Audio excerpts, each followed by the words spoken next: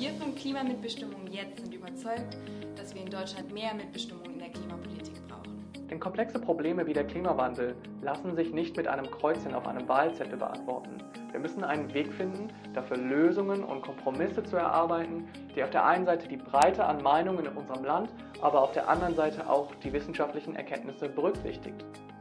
Bürgerräte in Irland, Frankreich und England haben bereits gezeigt, dass eigentlich jeder und jede von uns gemeinsam mit anderen gute Politik machen kann.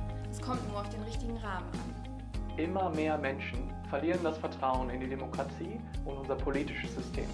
Wir müssen daher ganz dringend einen Weg finden, sodass Bürgerinnen und Bürger wieder das Gefühl haben, ernst genommen zu werden in ihren Interessen und auch tatsächlich mitwirken zu können am politischen Prozess.